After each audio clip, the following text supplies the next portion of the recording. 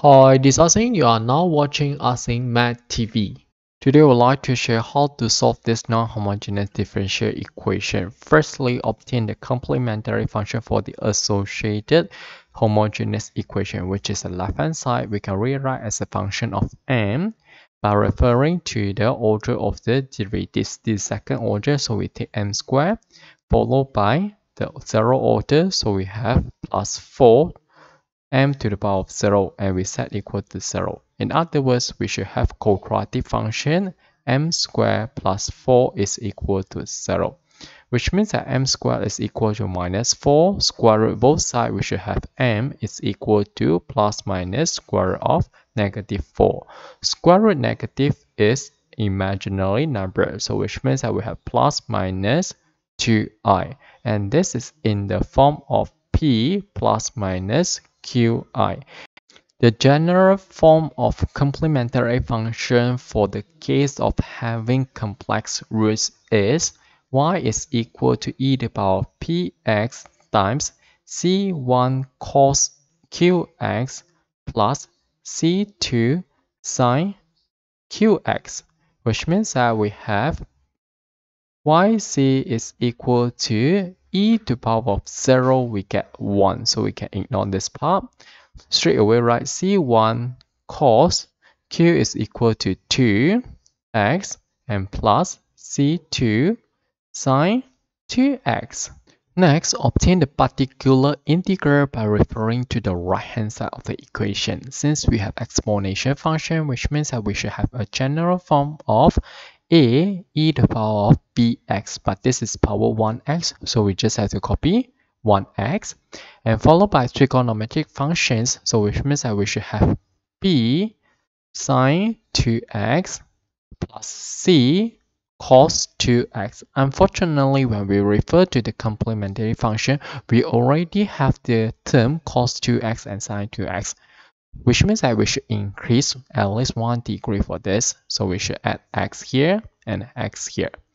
Next, differentiate with respect to x. Differentiate aex, we have aex again.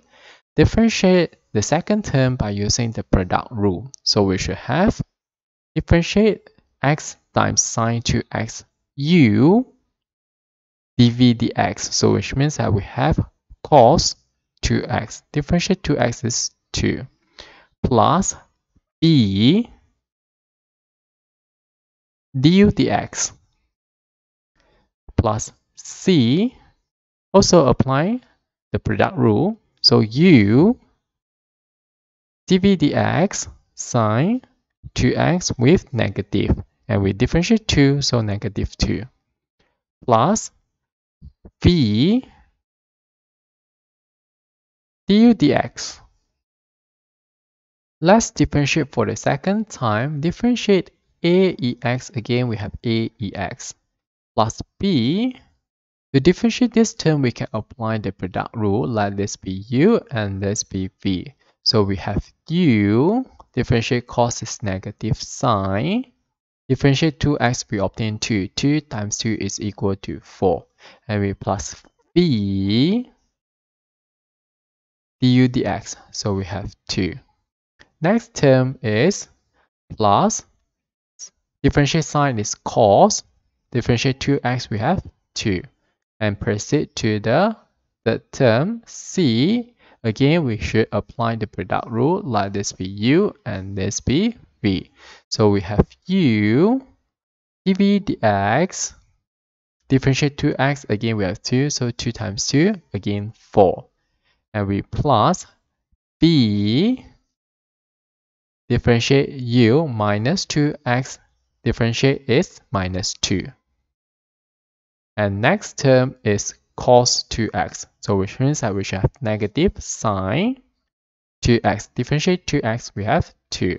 Let's simplify. We should have aex plus b minus 4x sine 2x plus 2 plus 2 plus 4 cos 2x and we plus c times minus 4x cos 2x minus minus minus 4 sine 2x and substitute all this into the equation that we have. So firstly, we have the second order, so which means that we should have aex plus b times minus 4x sine 2x plus 4 cos 2x plus c times minus 4x cos 2x minus 4 sine 2x.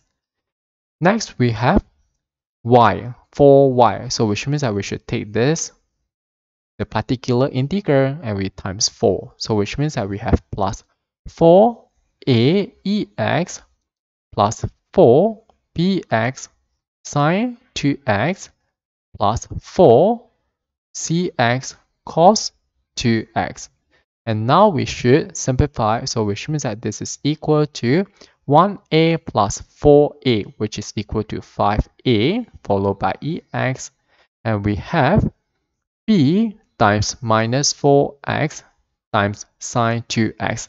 And this is opposite of 4bx sine 2x. So then this is plus, this is minus. Minus plus offset each other, no more. So which means that the second term we left only plus 4b cos 2x. And next we have plus c times 4x cos 2x. And this is opposite of 4cx cos 2x. So cancel each other, no more. So the third term left only minus 4c sine 2x. And this is supposed to be compared with the right hand side of the differential equation. So we have 1 ex is compared to 5a ex. So which means that 5a is equal to 1 and hence a is equal to 1 over 5. Next we have cos 2x. Cos 2x and coefficient is 1 but we have 4b. So which means that 4b is equal to 1 and b is equal to 1 over 4. Next, we have sine 2x, sine 2x, coefficient 1, but we have minus 4c is equal to 1. So c is equal to minus 1 over 4. Next, substitute all this a, b, c into the particular integral that we form, so which means that we have a ex, which is 1 over 5 ex, followed by plus b x sine 2x. b is 1 over 4, so we have 1 over 4x sine 2x followed by c which is negative 1 over 4 times x cos 2x. And we know that the general solution for this differential equation is equal to the complementary function plus the particular integral, which means that we have c1 cos 2x plus c2 sine 2x plus 1 over 5 e to the power of x plus 1 over 4 x sine 2x and we minus 1 over 4 x cos 2x and hence we're done. Okay, that's all for this video. Thanks for watching. Hope you like this. See you.